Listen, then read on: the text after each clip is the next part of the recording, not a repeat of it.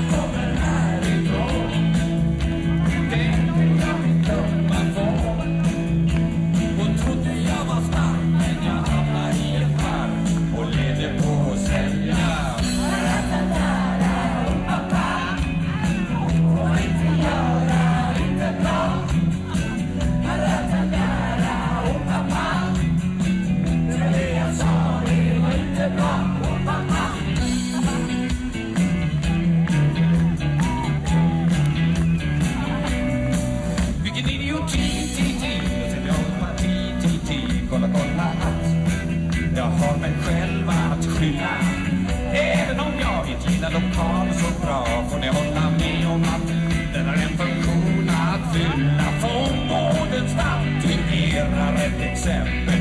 Knäcker en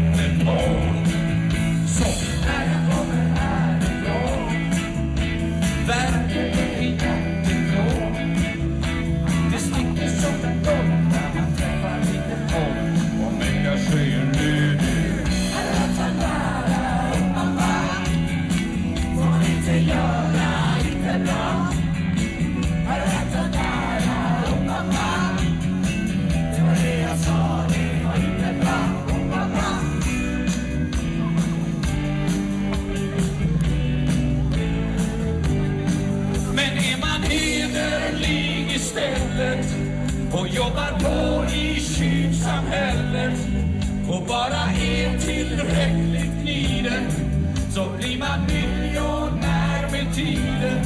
Tiden och